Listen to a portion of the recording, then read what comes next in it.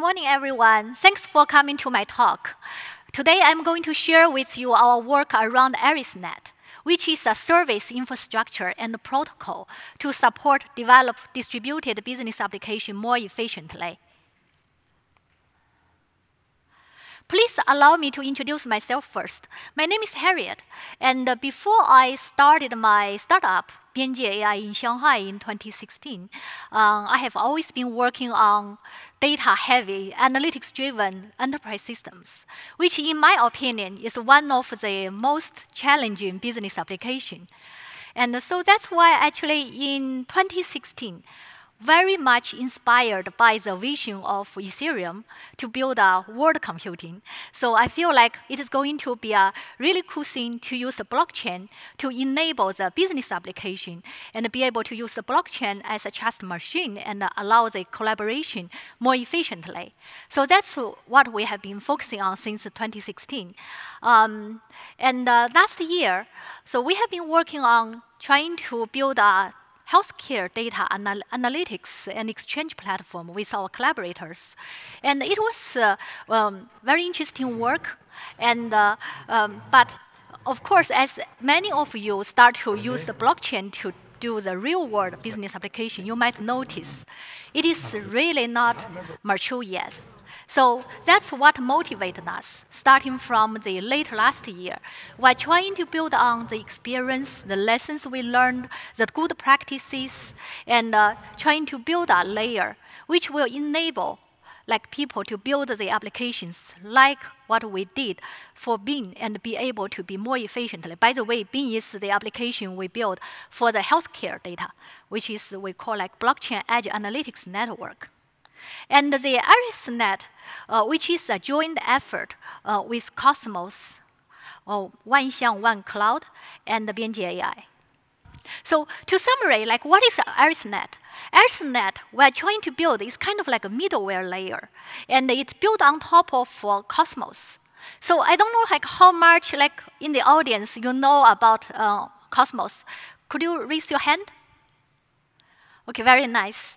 Yeah, and uh, so in the Cosmos, what we're building is uh, service-oriented infrastructure and uh, trying to allow people to develop business applications, distributed business applications, just like what they have been doing before. So we gave them the service interface, and uh, so using that interface, they can connect heterogeneous systems, and including both public chain, consortium chain, as well as legacy systems. And one cool really thing we have been doing is uh, we also provide the interoperability of those services across an internet of blockchains, which means to enable you to invoke the data service and more complicated business uh, computations through, through the, uh, across the blockchain network.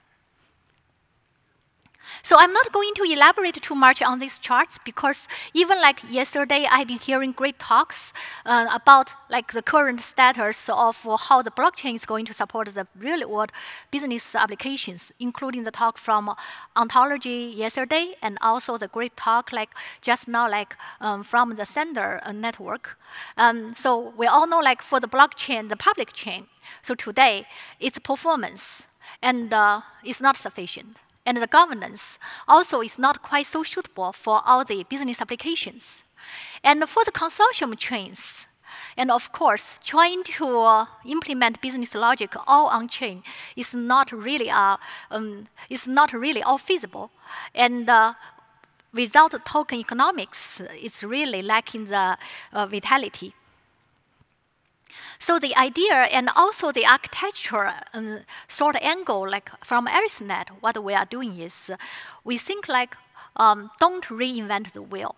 So uh, we should just try to leverage the best things, which coming from the different components. And what we think like for the blockchain, actually, I think this idea might already be accepted by most people who has, who has been practice uh, blockchain application development nowadays. But early last year, we, we really got the idea like um, blockchain, we should just use it as a trust machine. And actually, a lot of business logics, it is not possible and also it's not necessary to really trying to get them on blockchain, on chain. So um, blockchain part, we just focus on the consensus part. And also another very important aspect is the inter-blockchain communication, which is also very important, which I will explain a little bit later. And then uh, from the IRISnet, what we're trying to do is really more focus on providing the middle, middle layer to enable your connect, to connect the existing resource and the systems we have been developing for so many years, and also with the developer skills we have all been having, and uh, to connect those legacy systems, and also enable to connect like the blockchain public chains and the consortium chains. Because they all have their good features. And uh, the one cool thing actually I also mentioned earlier, and I think it's also very important for the blockchain to make really uh, real impact to the real world is um, we can we should extend beyond just a crypto application and uh, transfer not only tokens, but also provide transparent and be able to securely provide trustworthy uh, invocation over the data, over the computation. So let me like dive deep into a little bit what we think the underlying blockchain foundation is suitable for a business application. So here, like uh, I think many of us probably all familiar with the notion of the blockchain 1.0, which is represented by the uh, Bitcoin, and then of course Ethereum, which, uh, which represents the blockchain 2.0. And for the blockchain 3.0, and uh, people is trying to solve the performance issue, which is uh, in the blockchain 2.0. And there are many good projects that are tackling the, this problem from the different angle. So here I will just spend a little bit more time on the foundation we're building upon, which is Cosmos and the Tendermint. And uh, so for those of you already know Cosmos, you probably know like the underlying it is using a, a consensus engine called Tendermint, which is a POS consensus engine. And uh, um, so it's like the really nice thing we know, we really like about Tendermint. That is why, like last year, when we evaluated so many public chain uh, consensus engines, including like Graphene and uh, and all these things, we found like Tendermint is the one really works for us to build the business applications. The nice thing we like about Tendermint is it provides a very nice separation of the consensus part and also the application level. And for all the software engineering people, like we all like this type of componentized architecture. So you can focus on to really solve the challenge through a divide and conquer manner. And Cosmos is based on the Tendermint use the consensus engine. And as you see, like Tendermint be able to separate the application level logic from the consensus engine part. So the Cosmos part is actually built on the Cosmos SDK. It provides the inter-blockchain communication and allows these uh, um, inter-blockchain transactions be handled in a secure way. And uh, so this type of fundamental blockchain architecture, we found it is very suitable for building the complicated business applications we have in mind, especially the Cosmos taking a very open architecture. So for those like you, you read the white paper and also follow the testnet development these days. So you know like Cosmos architecture, um, it has a notion called a hub, and the hub is a blockchain itself. And it only focuses on the uh, application logic to handle the inter-blockchain communication transactions. And every other blockchains in the ecosystem by itself is an independent blockchain. And uh, so they can have their own governance and they, um, and they, are, they will go in through the uh, interchain communication through the hub. And uh, in the in the Cosmos ecosystem, it supports multi-chain and also multiple hub. And through even this multi-hub architecture, it will enable great scalability as well as the security. And the Iris Hub is positioned as the two um, levels in this uh, Cosmos ecosystem. So one thing is, it is an inter-blockchain hub. So it serves as the regional hub is going to connect with the Cosmos hub when we are actually actually, we are currently working on launching the Cosmos main hub, which is quite exciting. And I would encourage everyone to follow our um, progress. And so Iris Hub is going to be the first um, regional hub and the Iris Hub also will focus more on the distributed applications, while Cosmos Hub has been working very hard these days, Cosmos team, trying to connect with Ethereum and also to uh, work together with Omisego team and focus on the digital asset exchange.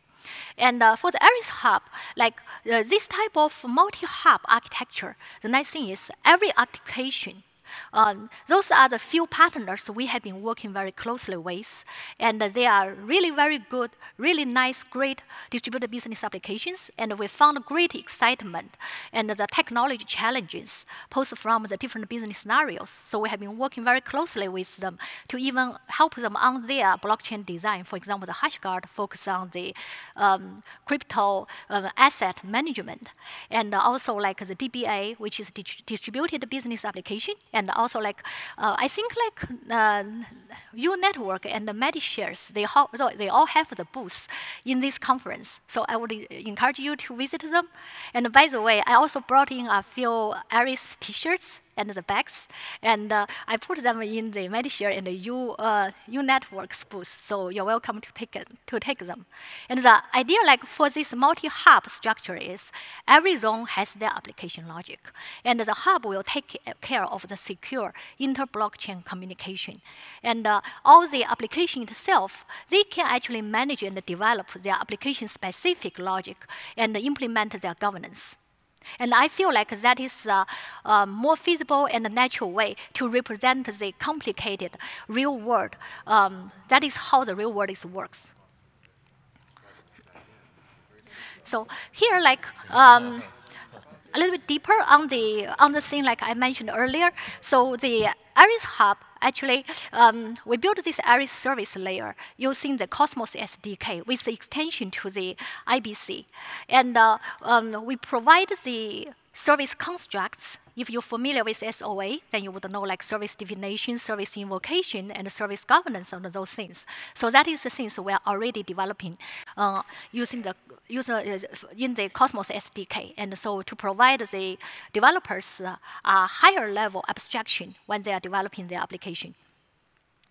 I know like um, I'm a little bit running out of time, so I will just uh, uh, go uh, summarize on this, like the core technology we have been using, the fundamental part, the consensus and in the blockchain communication, the protocol, we are uh, based on the Cosmos and Tendermint.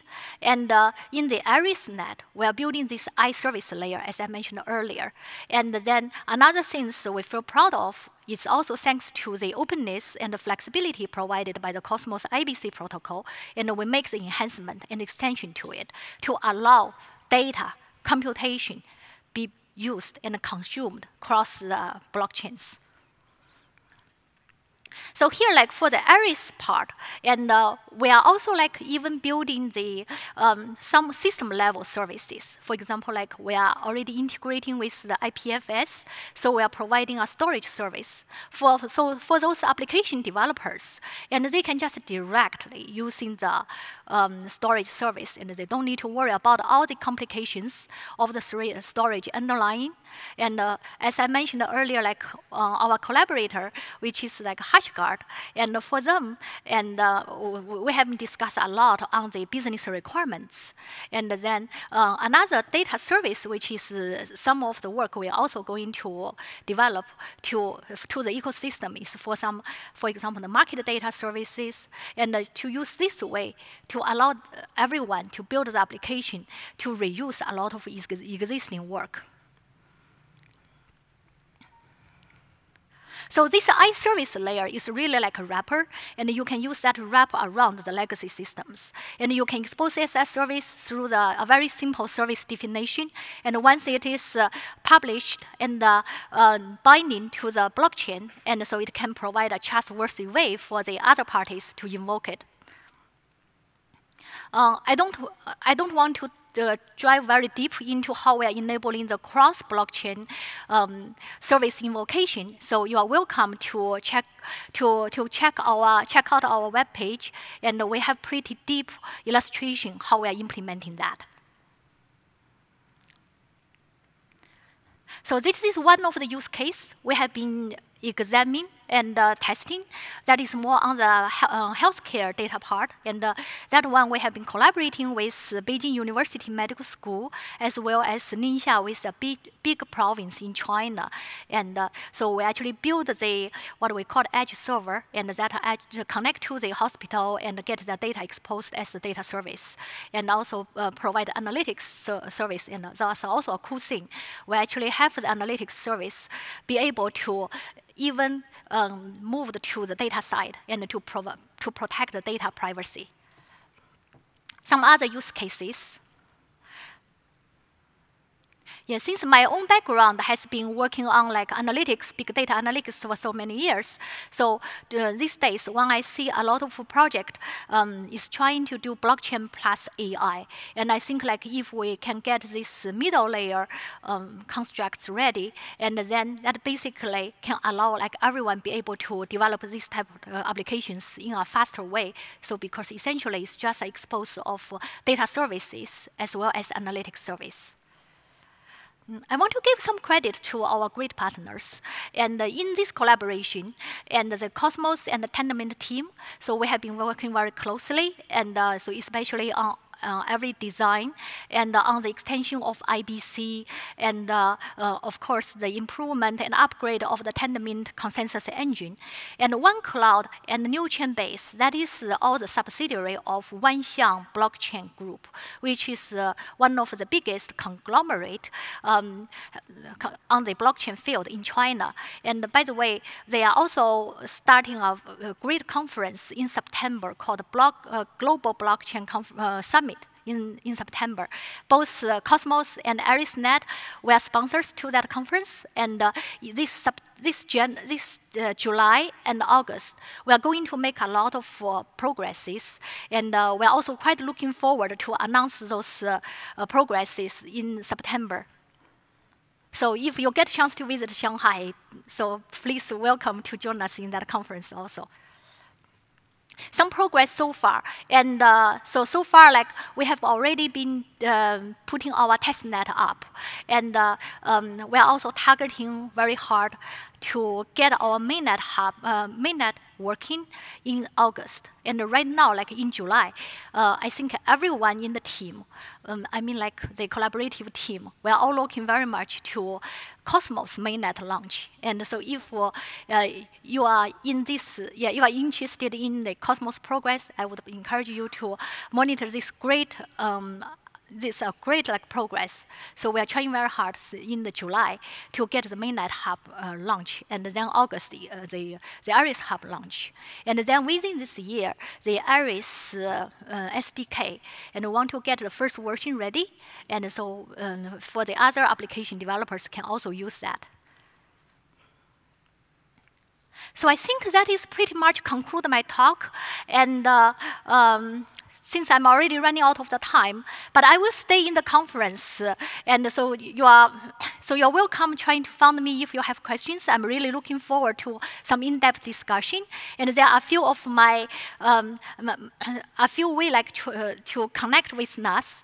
And uh, of course, I'm also very much looking forward to the exploration of collaboration. Thanks, everyone.